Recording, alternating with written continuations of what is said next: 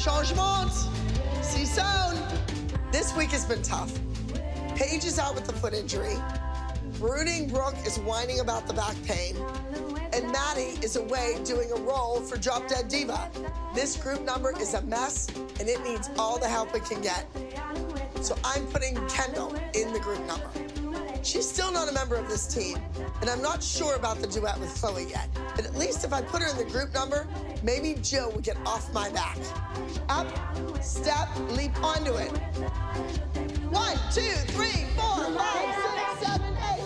I think that with Abby knowing Brooke's back is injured, she would have made the executive decision to say, you know what, Brooke's gonna do a dance this week with no acro in it to let her back rest. Let someone else do a solo. Give her back a break. Oh, I know. Jill, are you I'm just- volunteering?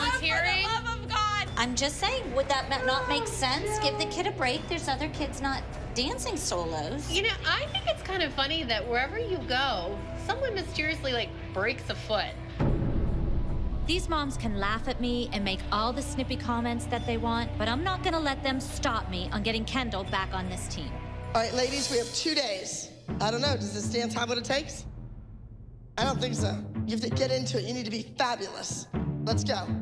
Two days. They're still late. They're still sloppy. Their shoulders are still up. Their elbows are dropping. I mean, girls, come on. So where is Maddie? Well, Maddie's doing that Drop Dead Diva thing. This is a professional job. Does she get paid for it? I think when Melissa comes back, she'll be very hush hush about it. But she'll want us to ask. right, but I don't think she'll want to reveal too too much. Mm.